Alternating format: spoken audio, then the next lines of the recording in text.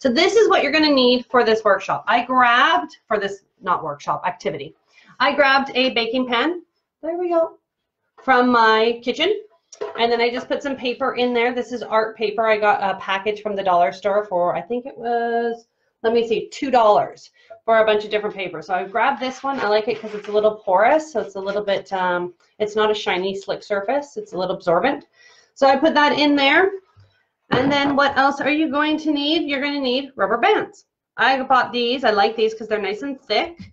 And they're from Education, uh, no, sorry, they're from the dollar store. It's a Saturday. I'm not thinking straight. These are from the dollar store, so you're going to need a few elastics. It doesn't matter if they're colored or not. Um, it's up to you. I like the thicker ones. I think they last a little bit longer than the thin ones. So when you are doing this activity, make sure that you have thick elastics. I think it would be really cool also to have different widths because then you can get different effects on your painting. You will also need paint. This is the paint I use. Can you see that? Yeah, I think so.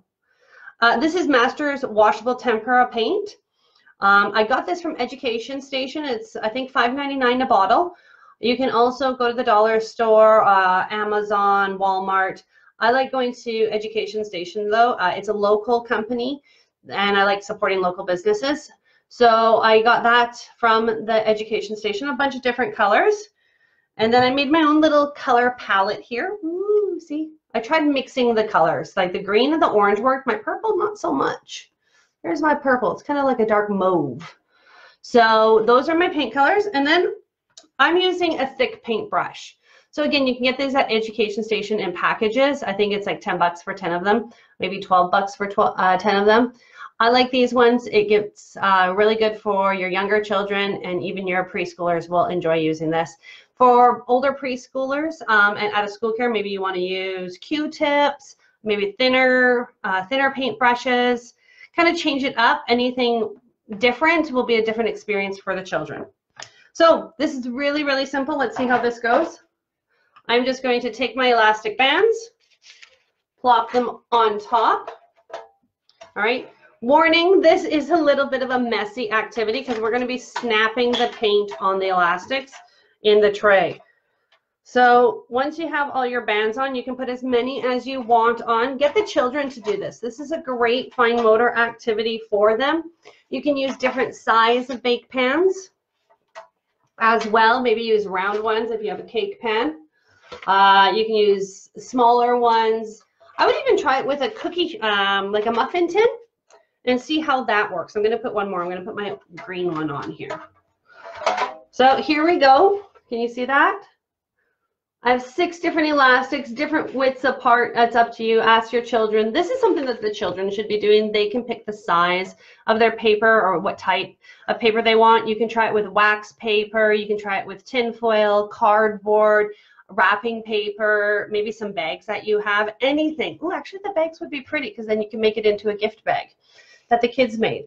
So uh, ultimately, we want to do this as hands-on as possible for the children. We want to try and avoid being teacher-directed or adult-led activities. Just put these materials on the table and see what the children do with it. I also always have, when I'm in the classroom, wet wipes. They are your lifesaver, seriously. Never go anywhere without your wet wipes. Even in my car nowadays, I don't have a classroom anymore, but I still keep these on me because these are a great little tool for quick messes to clean up um, so that they're not tracking that paint all over the classroom. And that when they're that, done the activity they can go back they can clean their fingers off and clean any spots on their arms and anything that might be lingering from the experience. So and just a tip with that um, what I do recommend is leaving this out there because if they might the children might only engage in this activity maybe for five ten minutes don't put it away though. Leave it out for them so that they can go back to it and explore more. I mean, repetition strengthens the wirings in the brain. So the more experiences they have doing this activity, the more they're going to learn, the more they're going to be creative and find different things and explore with paint and different effects of how you can paint. So this is your base setup. Again, trying to encourage the children to do this. And then you take your paintbrush and you're going to dip it in your paint. Let's see, I'm going to start with blue. Get a lot of paint on there. And then what you're going to do is you're going to actually paint the elastics. Oh, I'm thinking this the strokes don't work really well, but the little dabbing does. Here we go. So you can dab some paint on there. Yeah, the dabbing definitely works better. And you can already see I'm getting some splatters in there. And then I'm gonna go with my yellow. Okay, I'm mixing the color, so actually it's a green. So if you have particular children with sensory processing disorder or are sensitive to different sense, uh, sensory experiences, especially with paint, or they don't like mixing the colors, you do want to have different paint brushes for each uh, color because some children might get really upset over that. So have that opportunity. Be proactive. You know your kids best.